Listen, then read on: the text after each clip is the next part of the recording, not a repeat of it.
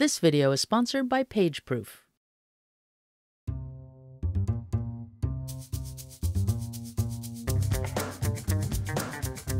Hi, I'm Pariah Burke for Creative Pro. When it comes to working with tables of contents in InDesign, paragraph styles are crucial. In fact, you can't make tables of contents in InDesign without them. In previous videos, I explained that statement. So in this video, I want to focus not on the styles that InDesign uses to generate a TOC, but on the styles for formatting the TOC itself, how your actual TOC entries look. When it comes to styling TOC entries themselves, you have two choices. One, style them exactly like the text they reference, which means choosing same style from the entry style dropdown in the table of contents dialog. The entries will look exactly like the headings, table titles, captions, or whatever it is they reference. However, most tables of contents don't do that. Most opt for the second method, which is to format the TOC entries on their own through dedicated paragraph styles just for controlling the appearance of TOC entries. If you're starting with a new document for which you've never before generated a TOC, you probably don't have those styles for entries. So there's two ways to start that. First, you can build your TOC entry paragraph styles like any paragraph style in InDesign. You can go to Window, Styles, Paragraph Styles, click the plus sign, double click, and start building. You can also format text first, select it, and then create a new paragraph style from it, which has all the formatting options already defined. You can see in this training company course catalog I designed that I have four different sets of styles for the four different tables of contents the main high level navigation, a list of certification only courses, and then a pair of longer TOCs that list all the courses the company offers by category and alphabetically in different lists.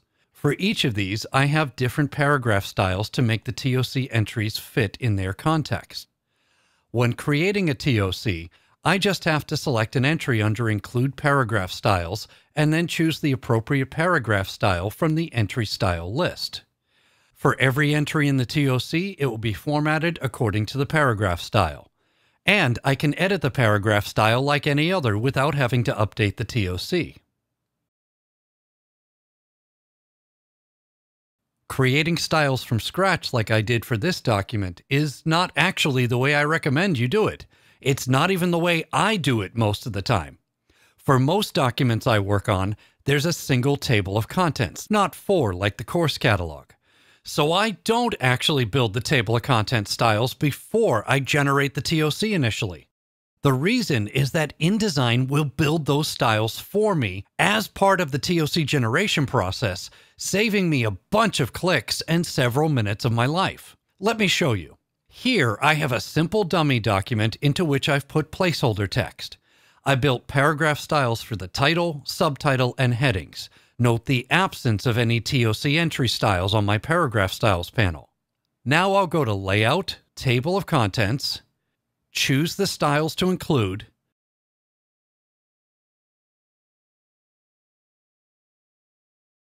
and then down in Entry Style, I'll find the paragraph styles I built, but also a style I didn't build. TOC body text. Also, up here in the style dropdown for the title of the TOC is another style InDesign is suggesting that I didn't create TOC title. If you select either or both, InDesign will create those paragraph styles as part of the TOC generation. So, what you're left with after generating your TOC is paragraph styles you can edit to your heart's content without having to build them in advance. There is one drawback to this, which might affect you, it might not. InDesign will only create a paragraph style for a single level of TOC entry. If you need a different style for different levels of entries, you'll have to build those yourself, preferably doing it the smart way, basing one level off of another. Well, I hope you enjoyed this video. If you did, be sure to give it a like and subscribe to our channel. And for thousands more how to articles and tutorials, visit our website, creativepro.com, and become a member today. Thanks for learning with us.